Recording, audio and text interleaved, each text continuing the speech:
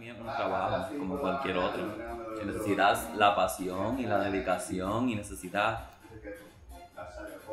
como que darlo todo. Es, es un proceso, porque cambiarse de hombre a mujer no es fácil.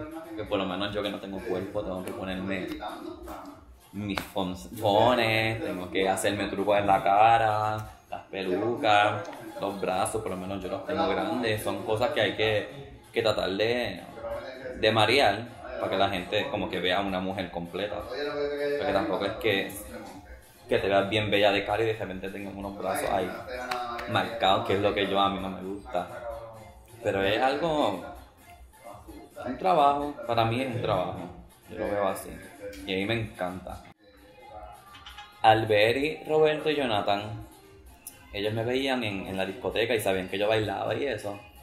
Y, y Alberi siempre iba donde mira, a hacer las músicas doll, yo necesito que tú salgas. Yo le decía, ay, no, yo no quiero salir, yo no me quiero vestir, no me gusta. Dale. Y yo, no, no, no, no, no. Ellos estuvieron como casi tres meses encima de mí. Hasta que mi pareja me dijo, dale algo, si no te gusta, pues no lo haces, no lo haces más nada. Y no, hicimos las Pussycat Doll en San Juan, en una parada. Y como que, como que no me importó mucho. Después lo hicimos en Cabo Rojo, después lo hicimos en Crash, y ahí dije, hmm, espérate. y y en- para ese tiempo hacían un concurso que se llama Road to Diva, que es como de talento.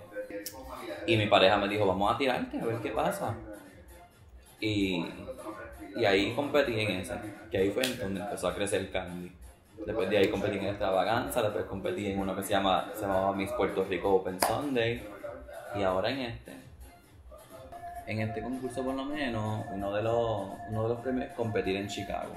Que es un concurso más grande que ya hay, las que compiten en ese concurso son casi todas transexuales. Ya tienen sus senos y los cuerpos hechos. Y es, una, es un concurso que compiten como casi 30 o 40.